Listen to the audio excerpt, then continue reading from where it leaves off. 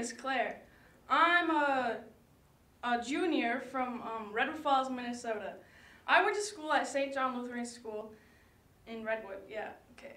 So, fire came from the presence of the Lord. Moses and Aaron then went into the tent of meeting. When they came out, they blessed the people, and the glory of the Lord appeared to all the people. Fire came out from the presence of the Lord and, and consumed the burning offering and the fat portions on the altar. And when all the people saw it, they shouted for joy and fell face down. Leviticus 9 23 and 24. It was the 4th of July, and my wife and I were standing on a driveway watching the fireworks filling the sky. Our friends across the street had been lighting some small rockets, when suddenly one of them misfired and came skidding across the street right toward us. We quickly jumped out of the way as momentary fear suddenly gave way to laughter. The glory of the Lord appeared in fire one day in front of the people of Israel. There might have been a moment of fear for them too, but when they saw the fire, they shouted for joy and fell face down. Why?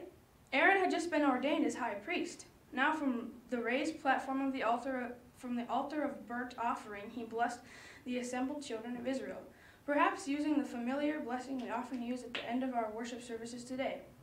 Then Aaron and his brother Moses went into the tent of meeting. When they came out, they again blessed the people. Suddenly the glory of the Lord appeared in fire and totally consumed the offerings on the altar. Why did this happen? Why did the Lord why did the glory of the Lord totally burn up the offerings? The offerings had already been burning on the altar, but God dramatically demonstrated his acceptance of them by consuming them suddenly and completely.